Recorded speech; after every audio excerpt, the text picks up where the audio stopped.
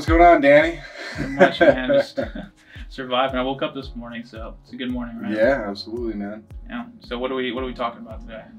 Well, um, I'd like to go over the VA home buying process. You know, um, just kind of how how did you get started in real estate, being a Marine veteran, things like that. Yeah. What what attracted you to want to be a realtor and things like that? You know. Okay, sure. Uh, well, I'm a veteran with the, the Marine Corps veteran, um, and I got out back in 2020. So it was obviously an interesting time to get out of the of the Marine Corps with everything happening. Um, I was really stressed out about what I was going to do. Oh yeah. Um, I'm sure a lot of people were uh, when when everything was going on, but when I got out, I was actually planning to be an accountant. Uh, went to school. uh, went to school and very quickly found out that accounting is not as fun as you think. Uh, well, I'm actually in an accounting class right now at National, and uh, yeah, it's not for me. No, obviously, it wasn't for me either. Man, I, I'm not a numbers guy. I was doing a spreadsheet, and my mind was just somewhere else. Bro. Yeah. Like, I was like, "What the hell am I doing?" Mhm. So I thought back to um, before I got out. I was I was deployed, and one of my one of my officers, one of my commanding officers, was huge in investing. He was actually invested in, in Tesla at the time. So I, I actually I don't keep in contact with him, but I'm assuming he's a bajillionaire now because he had close to fifty thousand dollars in in Tesla when it was it was valued at I don't know a couple hundred bucks. Yeah. I couldn't even imagine how much money he has now. Hopefully he stayed he stuck by. He so that so out. that kind of like sparked the interest in like investing and Yep. kind of placing your money in places where you get a return. Exactly, yeah. Um, that's how I kind of figured out about BiggerPockets. I looked into Okay. investing. I um, I learned about mutual funds, and then I learned about stocks and day trading. I was kind of stuck on day trading for a little bit. It was it was a little exciting. Yeah, Uh, yeah. Test day the waters. yeah, day trading is can, can catch you. Um, so I was day trading for a little bit. Probably lost close to a thousand dollars, and I Yeah. decided, okay, now it's it's time to figure something else out. So I, I looked into other invest investment um, strategies, Yeah. and obviously real estate investing came up. Uh, BiggerPockets came up, and I was networking on BiggerPockets, and I was like, man, these people are regular people. A lot of them veterans too, because I was in, and they're making tons of money. Um, obviously not overnight, yeah, but yeah. over time, like they're making their money and they're spreading their their uh, their value. Like they're they're telling other people how they did it, and I was like, man, this is easy. I can do this, whatever. So Absolutely. 2020 came around. I had to get out. So I, I was going to school for accounting, but um, I quickly dropped out of, of college and decided to purchase a home.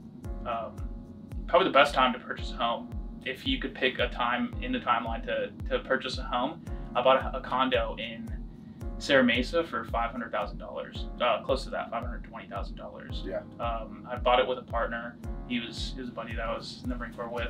Um, Okay, and so did you guys uh, use your VA loans together? How did you structure that? Yep. So we we merged our VA loans, which is a strategy that you can do. Uh, we can both put zero percent down. Um, obviously, you- just need the closing costs, which we split, Mhm. and I ended up coming out of pocket close to eight thousand dollars. Um, and that investment through 2020, surprisingly, uh, was the best. Not surprisingly, actually, was the best investment I made in my life so far. Yeah. I ended up selling my condo in Serra Mesa for seven hundred eighty thousand dollars After owning it for how long? for two years. 2020, Two years, and you sold it for how much more? Close close to two hundred, close to three hundred thousand dollars. I when I when I tell you when that offer came in at seven hundred eighty thousand dollars, I damn near threw up, bro. So, how much did you guys, you know, you and your partner, total net after the sale of that condo after two years? yeah. So after closing costs and um, and splitting it, I walked away with hundred thousand dollars. So two hundred thousand dollars each, and that's Yeah. just a rough estimate. Tell you. and that just goes to show, uh, it, when you invest in real estate, the returns that can happen in a matter of two years are sometimes astronomical. Like they just don't even make sense. There's not very many stocks on the on the open market that you could put your money into where you can get a return like that in two years. So, being in real estate, what else have you kind of learned in the investment uh, space that you know you can kind of help other veterans Sure. in the future? Yeah. So um, initially, I mean, I was I was an, as a new realtor back in 2021. I didn't really know much other than you know I bought a house and I made a ton of money. Mhm. But uh, so I decided to educate myself on how me as a veteran could make my VA loan work for me. And what caught my eye was multifamily homes. Yeah. The potential of multifamily properties and your VA loan is insane. You did you know you could buy a multifamily property, live in one unit. You have to live in the unit if you if you buy Yeah. a VA with a VA loan One year, uh, right? for at least one year, yeah. And you could rent the other home or the other unit out and use seventy five percent of the income to offset your mortgage. Yeah. In some cases, you could live for free or or damn near for free. Yeah, and even if you are um, supplementing that mortgage with a renter right now, imagine what that's going to be in a couple of years. Right. So even if it doesn't look super sexy right now or this year, you know, Especially does. with interest rates, right? Yeah, It's- it- exactly, it's not, it know. seems like it's not the right investment, but over time, like, just give it some time. That's all it's about. You got to give it time. I like to talk to my clients about like looking at things from a, a different lens. You know, hmm if you're zoomed in on 2020 to 2023 and you only look at those three years, you're going to look at 2023 and be like, it's not a good time. Right. If you zoom out and capture 2005 to 2000 or 2023, that's a completely different dynamic to look at because you see those gains year over year all the way up to 2023. You're not just looking at the last couple years. hmm So you kind of have a different baseline for what the lows and highs are, right? Yeah. And and 2020 to 2023, for veterans specifically, it might not look like the best years either. Because Yeah. as you know, um, if you put any VA offers in, listing agents were not about it. They were not about accepting VA offers. Literally. It's it's depressing. like it's insane how many times I, I put in an offer and they were like, "What are you doing? Like we're not accepting." It goes straight to the bottom of the pile. Yeah. Straight to the bottom Yep. along with FHA loans. One of the best loans out there, a VA loan, and they're just disregarding it for you know a cash offer. Sometimes it makes sense, but most of the time you're looking at putting a veteran in a home that's fully qualified and that will take care of the property. It's just I think they're scared of the appraisal process, right? Yeah, that's, that's kind of what what what's. Anyways, what tell me about your experience? How did you get into to real estate? Well, uh, it was a little similar. So when I was, uh, it was 2020. I just got back from deployment, end of 2019. I'm like, all right, I definitely want to buy a condo or you know something for myself over the Mhm. next couple of years. So I actually got hooked up with an agent that um, a lot of people in my command were using. So he kind of had uh, a lock on, You you had know, reign over you yeah, guys. yep. And so uh, I didn't know much about the home home buying process at all, VA Mhm. loans, anything. So uh, you know, I was looking for places with my agent for, at the time, and there was a few places that you know really really stuck out. And at the time, I just didn't know if I was going to be in the Navy long enough to afford that mortgage, right? Right. at the time I, I had uh, basically gotten medically uh, put on the medical board, right? So I was like, all right, well, I don't know if I'm going to be in the Navy much longer, and if I am not in the Navy, am I going to have an income from the Navy, or am I just going to have to go to school full time? And couldn't really like place that on myself to, Mhm. you know, leave it up to whatever. But the, the universe. Yeah, basically. just put yourself out there. Af- after a while, like um, I kind of backed off. You know, didn't think it was going to work out. I ended up getting you know medically retired, so I did have that you know safety net, Sure. which would have helped. You know. Yeah. but um, yeah, I kind of missed my opportunity, and then uh, you know a year later, after I was already you know selling real estate, Mm. I ended up selling one of those places I was looking at, and we sold it for 300k more than what I would have bought it for crazy. and it had only been like a year. Yeah. So now I look back and I'm like, if I had just bought that place, it, it met all of my needs. I was just being a little too, uh, you know, um, what's the word I'm looking for? Hesitant. You were just Yeah, hesitant. I was just, Maybe un- uneducated. yeah, yeah. Was I, it- I wasn't really um, focused on the investment itself. Okay. I was more focused on like what I thought would be, you know, a place that I would like and want to hold on to for a long time. I wasn't really thinking of it as an investment. Sure. Would you say your agent had any part of that was, I mean, no, nothing wrong with your agent, um, but would you say if there was in another universe or another another world, if there if the agent could have maybe not pushed you but educated you more about maybe the investment potential or even the VA loan, how to use it in to your advantage, you think that would have been different? Yeah, hundred percent. And uh, you know, that's not a knock on you know my Sure. past agent. You know, he's an awesome agent. He does a lot of business. Mm-hmm. He's super knowledgeable.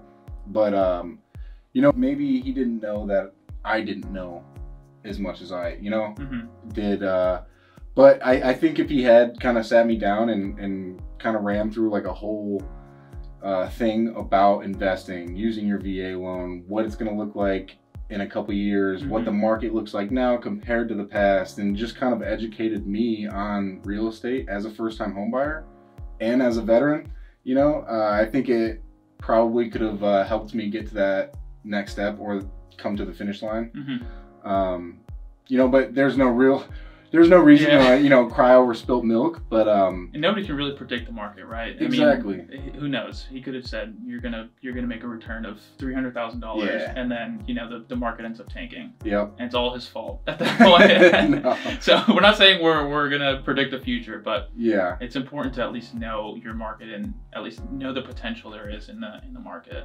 yeah, for sure. And I would definitely recommend, you know, talking to your agent and figuring out what the market trends are like in your area, especially San Diego or Mhm. these military towns, because they change so often. Right. You know, here in San Diego, the appreciation over the last couple years was what, twenty something percent. Insane. I, I the way more than the past. Like I think past 12 years, I was reading the the average appreciation rate is 8.24 percent. hmm Uh, forgive me if I'm wrong on that, but it's around there. Um, that alone is an absolute insane return on your investment. Yeah. If you can make eight percent back, that's what are we at with inflation? Seven. Pretty much around there, right? You're, you're, Seven you're something. beating inflation with with an asset that'll last you Yeah. a lifetime, and and having a home is just like it's probably in my opinion obviously it's a little biased but it's the best investment you can make you can flip homes if you if you choose you can buy a home sell it for for a premium after a couple of years or a couple months not years months you can rent your home out. That's that's an investment itself. You're you're making cash. You're getting cash flow uh, hopefully. In san diego it's a little tough but you have that appreciation backing you up. And um, appreciation alone that's that's a part of the strategy too. You buy a Mhm. home in san diego you're already investing in real estate at that point. Um, yeah that, that real estate has so many avenues of of approach when it comes to investing um, you, you really can't beat real estate Yeah. yeah And honestly, there there's a, a few people that I served with, you know, and this had to have been. I got out here in 2016, and I remember a first class that I had. uh, He hadn't even been in the, the Navy much longer than me, Mhm. right? So he had a house that he bought in, I don't know, 2014, 2015, something like that. It was like a $300,000 house or, you know, less back then. He bought it, just redid the kitchen, some cabinets, stuff like that, and sold it like two years later. Made an exorbitant amount of money off of it, and then, um, you know, upgraded to the next house. Him and his family, they now live in a probably a 1.6 million dollar house here in San Diego right with a yard, with a pool, all of that. And it all came from that first investment he made. right That first place he made, he put the sweat equity in, put in that extra little bit of work, upgraded it, and then sold it for profit, put that right into the next one. Yeah. And it's a lot of people don't think that they are capable of doing that. Or you'd be surprised how many people don't think they can qualify for a house exactly. especially the military. The military is probably no, it's definitely the most stable job you can have out there. Mhm. And you, as an E two in San Diego, you can afford a lot more than you think. Yeah. Oh, yeah. I, I have a friend. Uh, he's an E6, and I was speaking with him like uh, a few months back. Mm-hmm. Him and his wife have been planning to buy a house out here for a couple years now, but they're from the Midwest. They have no idea what home prices are like here. They just kind of hear like, "Oh, million dollar homes. Right. We can't afford that." Mm-hmm. Uh, we got them pre-approved. They were pre-approved up to like nine hundred thousand. He was like, "What is Insane. going on right now?" Insane. He's like, I did not even like this. Doesn't even make sense. I'm like, you you you really need to speak with a professional before making assumptions about anything, you know, like that, because you could be in a position where you're able to purchase a home or you're in a better financial position than you think you are and you just don't know it. Yeah, it's it's there's um like when when I was in like as an as an E4, and I think another problem is that this is reminding me is the commands. Commands don't encourage you to purchase a home because they don't think you can either. Mhm. Um, I was I think I was asking my my staff sergeant or, or gunny about about purchasing a home and like oh no you gotta wait save your money up you'll probably hit it when you're when your staff like they, they make it seem like once you hit that staff I don't know how it was in the Navy but Mhm. staff sergeant you hit the staff rank that's when you can get out there and actually make some money and invest anytime before that you're just grinding you're making your money spend it on dumb shit like a PS4 or a Booze. crazy car that's at 20% interest booze Tattoos, Yeah. Mustangs, and you know. I wish they would have taken a little bit more time to educate me on on the potential investments that I could buy at such a young age. Like nobody takes the time, not nobody, I shouldn't say nobody, but a majority of people in the military don't take the time to to educate you on what you can do as a young person in the military. Like nobody not a lot of people take the time to put you aside and hey, here's what you're gonna do with your monthly income. Um, you know, save this much every month. Go talk to a lender. Go see what you can qualify for. Maybe look into, you know, renting your home out if you're deployed. Go look into um, renting your other rooms out to, to other military members that might not be able to afford a home right now. Yeah. Um, it's it's a little disappointing, but what are you gonna do? Um, that's I guess that's what we're here we're here for, right? We're here to tell you that there is there is a way to, to do those things. Yeah, absolutely. So, what what would you say to uh like a new, let's say an E three who just got stationed out here in San Diego? Maybe they've been in for two three years, Mhm. Just kind of getting their feet wet and have a little bit of a savings. Maybe they are established but don't know what to do to make that next move. They want to buy a house or they want to buy some type of property. That way they can you know get their feet established in whatever town they're living in. Sure. What, what would you say to that person? So, um, just thinking back to me as an E3, I was dumb. I was uneducated, not dumb, but I was I was very young and uneducated. So, I think getting out there and talking to the right people is the first step. Mhm. Um, maybe start with your chain of command. There's something out there that will that will help you guide you to the right person. If not, we're here as a resource. Um, go educate yourself first and foremost. What do I need to do to purchase a home as a veteran? Yeah. Well, a great resource is the VA website. Yeah. That's actually the only resource you should be looking at if you're if you're thinking about using a VA loan. Research on how to use the VA loan if you're eligible, uh, what your limits are as far as you know um, qualifying, and then go talk to a professional after that. The professional should sit down with you and go over the steps past all the way from you know getting your DD 214 if you're a veteran or getting your certificate of eligibility all the way to closing. Um, I think it's it's just powerful how much information's on the internet, um, especially on the VA website, like I said, to empower you to get out there and, do, and take the next steps. Um, and then after you know talking to a professional, maybe look into some some investment strategies. You were saying it earlier. Um, the, what was it? The first class that you were talking about that bought a three hundred thousand dollar condo. Yep. Your first home might not be perfect, right? It might not be your dream home, Yep. but it's a stepping stone to get you to that dream home. You might start off with a you know two bedroom condo in in Santee or um, up in Oceanside if you're in on Camp Pendleton um, in downtown Mhm. you know, put some sweat equity into it, uh, remodels a kitchen, remodel a bathroom, sell it, turn around and sell it a couple of years later for a premium, and then take that money that you made, use it as a down payment if you want. The cool thing about the VA loan is you do not have to use, you you don't have to put anything down, um, but you have those closing costs covered, and then in this market, as you know, you can get your closing costs completely covered. Yeah. With the right seller, you can pay damn near nothing. Like you, all you have to pay for is your inspection and appraisal, and then you're all set. That's it.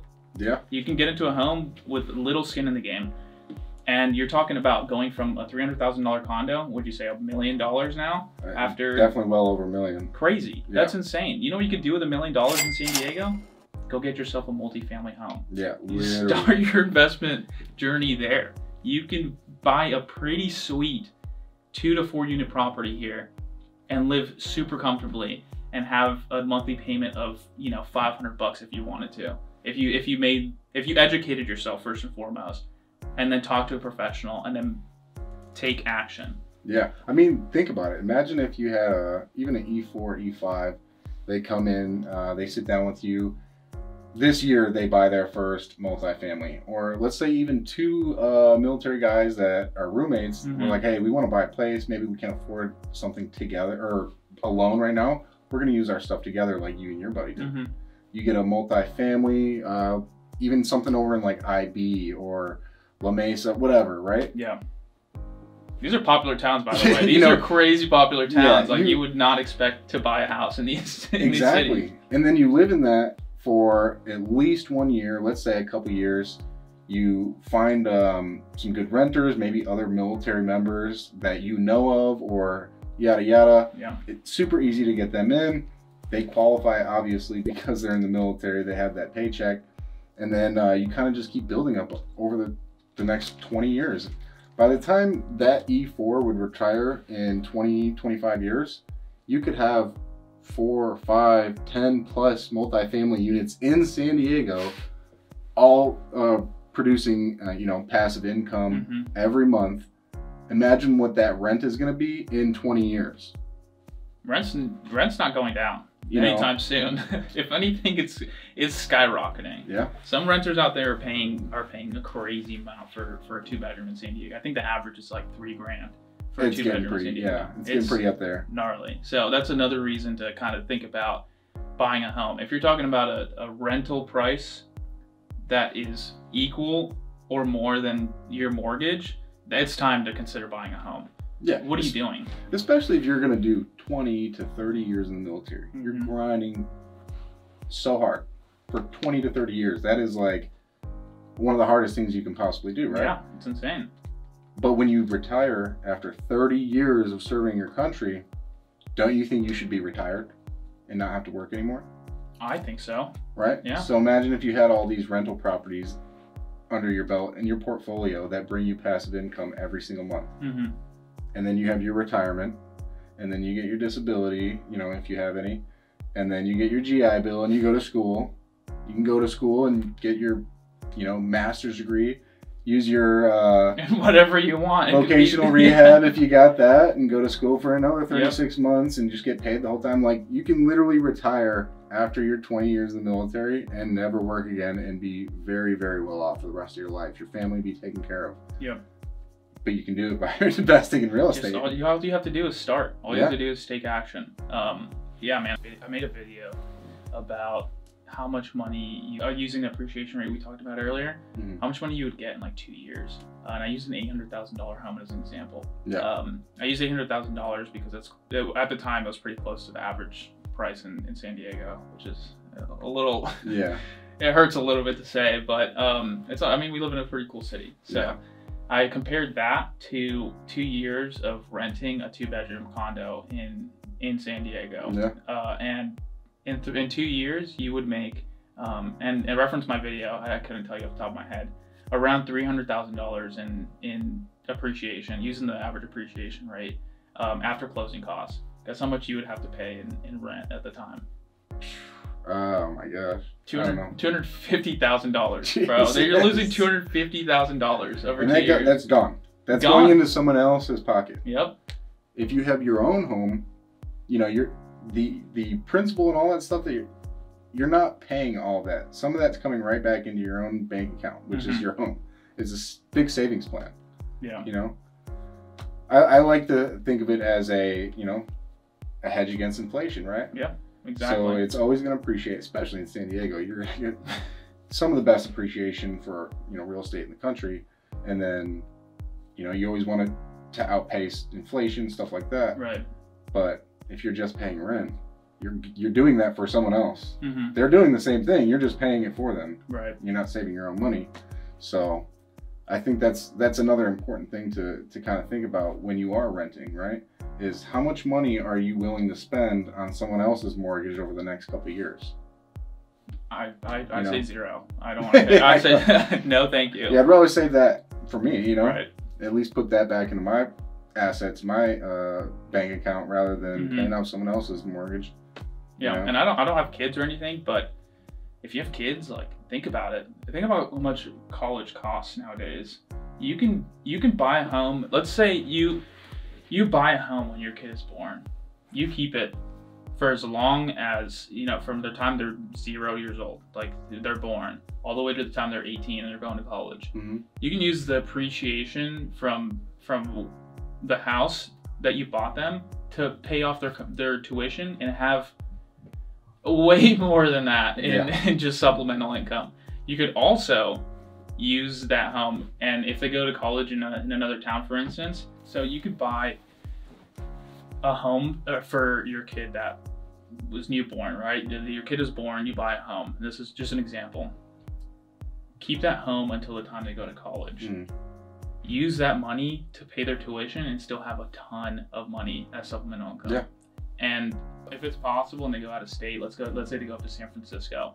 You can use a strategy called a 1031 exchange. Yep. Exchange your home for a home up there and you know, they live in it for free while they rent their the other rooms out to to their college buddies. Yep. Right? Now they're making money. Now they're learning how to invest in real estate.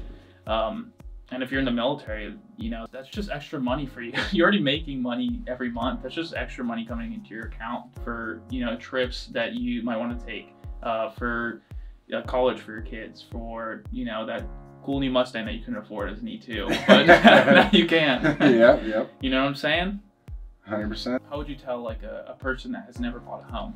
How would you guide them to a to a lender? Like what would you what would you say the right steps are to find the right lender? Well, I guess there's a couple different ways you can kind of go about it. Um, personally, I would say to align with your agent first. Okay. So who whoever you plan to work with or you know you want to work with. So whether that be someone you know personally that is in real estate, grew up, or somebody you met recently that you know provides a ton of value, and you're Sure. like, I want to work with this person. Well, most most agents, as you know, we work with lenders that we work with the best. and so trust, we- right? yeah. you trust that person. You Exactly. know they're gonna they're gonna close a deal without any problems. hmm And they provide the best service to your clients. Mhm. It's, it's all kind of like that. But I would say if you're shopping and you have a realtor, ask for their recommendations on lenders because you know it, it could be uh, a couple different lenders they work with in that city. Like San Diego, I have several lenders that I work with very closely. Mhm. Those are who I recommend to all of my clients because I know that they can close. I know they have great service, and you know they'll they'll do whatever they can to make sure that you're happy as Right. a client. Right? And they have pretty great rates. I'm gonna say something pretty controversial, but if you're out there looking at military home loans, um, Veterans United, even Navy Fed, uh, look at their rates compared to local lenders. Yeah. Um, I I'm astonished on how they take advantage of veterans. It's insane. I I was looking for a home. I got a quote from Veterans United that was a, a whole percent higher than a local lender. really. Yeah, it's it's crazy. I don't know understand why. It's because of the names, right? Yeah. You as a veteran, you don't know any better, right? You're gonna go towards your people, right? Mhm. So if you see the military home loans, it's like, okay, I'll go with these guys. Talk to more than one lender. Absolutely. Talk to more than one lender, please. Don't stick with the first lender that you meet. Yep. Um, if I recommend you a lender and you don't jive with them, I'm not. My feelings aren't going to be hurt. Go talk to somebody that's going to take care of you. Absolutely. And just another thing is, you know, when, when your credit gets ran by a lender, you know, anytime your credit gets ran in the next 30 days, it's all going to be under the same thing. So it's not like Mhm. you're going to get hit 20 times because a bunch of lenders run your stuff in, Right. in 30 days. Everything that happens in that 30 days is going to be the same hit. So you're not going to take these, uh, like, at least for, for what I used to think, you know, if- Yeah. if, I need to go get my credit ran at like a dealership, A car or- dealership, right? you That's know, what I'm thinking. Oh, yeah. Mm-hmm. it's going to be a negative impact on my credit history. It's not like that. You know, I've talked to several uh, mortgage professionals, and that is a myth. That if your credit gets ran more than once, you know, it's going to be more than one hit, and blah blah blah. yeah. That's not true. So if you want to shop lenders, shop those lenders within a 30 day period, and then figure out which one's the best or what has the best rates. the service, everything that works for you. So don't be scared. You can talk to shopping. 30 lenders Yeah. in 30 days. If you're it. shopping for a mortgage lender, don't be scared to let them run your credit and find out which one works best for you. Mhm. Yeah. You know? Also, make sure you're you're you're dealing with somebody that has good reviews. Like you want them to be a good lender, and also you rock with them. Like you want them to be on your side. So if Mhm. you're if you feel something weird about the lender, like go with your instinct. That's uh, that's how I make ninety percent of my decisions. Some more bad decisions, but I still go with my gut. Yeah. Uh, if you feel something weird, definitely move on. Yeah, for sure. hmm So, the veteran, they've talked to you. They've established a relationship with you. Mhm. Um, you've sent them to a lender, and they're fully pre-approved. They're ready to start rolling. What's what's the next steps? Cool. So the the next step is obviously we've already done a buyer's consultation, right? Mhm. So I've already met with the client, uh, sat down, figured out exactly what their goals are, what their needs are is super important. Actually, like I need to know what that black swan is. Like, why are you trying to move? Why do you want to buy? Who, what, where, when, and why? I need Right. to know exactly what your motivation is. That's going to help me figure out where, you know, what is most important to you and what is kind of just a want rather than a need. Uh, but once that happens, you know, we can kind of start looking at places on the on the market that match what you're looking for. So you'll give me like a criteria. This is once you're pre-approved with your lender, you know, you know exactly what that price point is. Mhm. At that price point, now I need to know what your needs are. How many bedrooms do you need? What kind of space and storage do you need? Do you need a garage? Are you going to be parking? Do you need an EV charger because you you drive a new Tesla? Or all these little things are going to help me try to uh, determine what areas of areas are going to work best for you. You know, and then um, yeah, just kind of start shopping and getting out there, boots on the ground Right. literally that once you start everything once you get to that point where you are ready you have that pre-approval you kind of know what you want you Mhm. get out there and see some places in person Right. And it, it usually takes, I would say, at at least for me, my average probably around eight weeks to find a home um, for them to move into. Uh, what would you say your average is? i, I think it all depends, right? yeah. It depends on the, the veteran or, For sure. or the person that you're showing home to. But what would you say? I would- say it definitely takes about uh, at least four weeks you know Mm-hmm. just just depending on like your time frame you know i've had clients come up and they're like hey i need to find a place in the next week or i'm going to be uh, homeless Right. you know that's a s- specific uh, situation but um you know I, i've had clients where i've showed them 200 places and you know they picked something that had looked nothing like their search criteria Yeah. and then i've had people go out and they loved the first place we saw and we were writing offers Oh. so it, it kind of just depends on the client and what their needs are, but be aggressive. Don't be scared to write offers and trust your agent's um, knowledge of the market. Yeah, it's important to, to trust your agent. I think building building a relationship with your agent, um, uh, and this could be controversial. Maybe I know you know we we met at a, a Mike Ferry con or concert, a Mike Ferry meetup. Um, he's a very sales oriented uh, coach. Like he's get the get the transaction. You're gonna you're gonna call, get the transaction, and sell the home. That's it. No relationship built.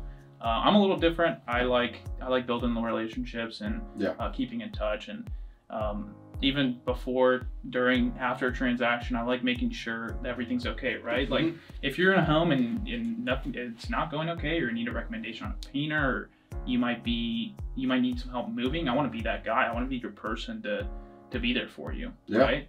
Because I'm the one who's been showing you the homes. I, I I'm kind of responsible for getting you in there along with everybody on our team, the lenders, title, everyone. So I want to make sure that you're happy in the home uh, Yeah. that you that you chose. Um, yeah, I, I agree. Like just being able to provide as much value as possible to your clients.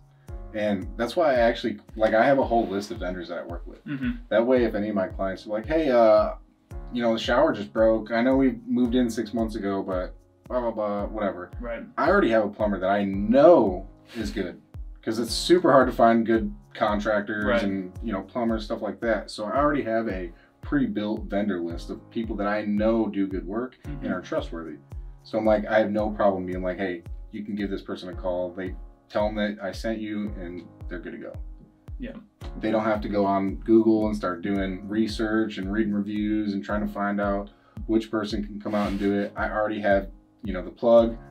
I can put you in touch with anybody you need that's going to help you with your home. Yeah. You try to get a quote online, they Yeah. put your email in and wait 24 Exactly. hours and maybe we'll get back to you. Yep. No, thank you. All right, so we touched on um, like VA VA appraisals earlier, just slightly. I want to dig into it a little bit. Um, have you had any experience with uh, with bad appraisals at all? hmm I've had uh, a Tidewater once. Okay. Yeah. Is it as uh, bad as, as they say it is, or um, what, what's your experience with that? Um, it just depends, you know. Um, my experience wasn't too bad. I think it came in like a little bit less. Sure. It's like 10k. But um, what do you want to touch on exactly? I guess what were they what were they looking for? Like when when you got the appraisal, what were they actually looking for as far as um, like what do appraisers look for when they're when they're getting in the in the home? Yeah. So the appraisal, especially with the the VA home loan, is is it's pretty important. You know, this is a it can be a deal breaker, and uh, I think that's kind of why uh, a lot of VA loans, you know, weren't as competitive Sure. in that 2021 era, especially in San Diego, because uh, the appraisal is what the value of the home actually is, right? So an appraiser gets ordered by the mortgage lender. They come out and then they assess the home based off what it looks like, upgrades, where it's at, how many bedrooms, bathrooms, all those things are they go into effect to get the actual value, market value of the home. So when that happens, let's say you're already in con- under contract at six hundred thousand, right? But the appraisal came in at five eighty five. Sure. So now you're in contract fifteen thousand dollars higher than what the actual value of the home is. Mm-hmm. Yeah. Now, if you're a VA home loan, you can't do that. They're not going to let you, you know, do that unless you sign away your right. Right. Yeah. That's there to So- protect the veteran, right? That's there so you- Yeah. the VA knows that you're not overpaying for a home. That's hmm if it's valued at 585, they're not going to want you to get into a home that's valued less than what you're paying for. That's not what they're there to do. They're there to protect you. Um, so at that point, it's between you and the seller to figure out, okay, wh- who's going to pay for this Mm-hmm. fifteen thousand dollars, right? That's that's where we come in as as negotiators to figure out, okay, here's a veteran who is fully qualified, and we came in, let's say, as a, for instance, with very little, we, we barely got the closing costs. Yeah. All right, let's work with a seller. Come on. Do you really want to charge another fifteen thousand dollars for someone who may be out of the running at that point um, for a veteran that obviously needs a, a place to stay? Yeah. Um, and most of the time, you know, agents can get come to a consensus and and agree upon a price that that works for both of them. But you know, it's at that point it's up to the agents to figure out. Right. One last thing, we could be done. We've been here for a minute. Yeah. Uh, so I was at the the Rolando Street Fair yesterday, and uh, we had a booth up, and we were just you know advertising our, our business and uh, how we got people in. We had a board. It was um, is uh, is the market crashing? Yes or no? Yeah, we oh, were, we were so- raffling off some some Padres tickets. Um, so I'm gonna ask you, what do you think? Is the market crashing? The real estate market, if you to be so, no, the real estate market is not crashing at all.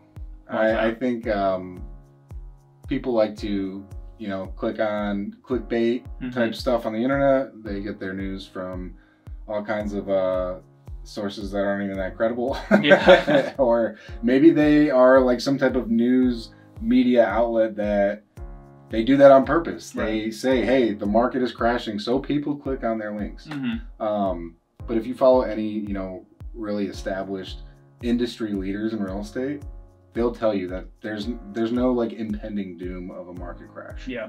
you know, obviously that lender you spoke with the other day, she had a she hit the nail on the head, right? Right. So there there's just too many uh, variables at play here that won't allow for a real estate crash like we saw in 2008. Right. You know, that was a very I think we've learned our lesson. yeah, it was We've like a one-off situation because of a specific thing that happened. Mhm. It's not just like the entire state of the market crashed. Home prices are still going up. like people are people's homes are still appreciating rates just dropped recently. Yep, we're still getting multiple offers on homes. I'm Yeah. talking to realtors, and there's still activity. There's still Mhm. buyers. It, it's just the the purpose of interest rates going up is to stabilize the market. You can't get more inventory if everybody's buying all the homes up. So if it's more expensive to buy homes, less people will buy homes, and inventory will go up. We haven't seen that just yet, but I feel like it's coming. Um, I was reading an article from the from the NAR economist, NAR economist, and his prediction is home sales might go down a little bit, which with higher interest rates is, I mean, it's going to happen, Mhm. and home prices are going to stay stable. Nowhere on any anything that I've read so far, other than you know the clickbait stuff, is saying that we're going to get a, a market crash that's going to bring us back to 2008. Um, so yeah, Yeah, I agree. I've been Danny Delarosa. I'm with Karen Realty Group, and I help buyers and sellers buy dreams, sell dreams. cool. Thanks for having me, Danny. I'm Rusty Iverson. I'm with the Finest City Real Estate team here in San Diego. And uh, thanks for having me today, man. All right. Cool, bro.